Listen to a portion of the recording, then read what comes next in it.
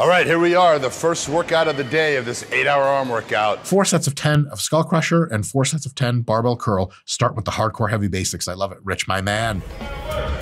Ah, good technique, good range of motion, Rich.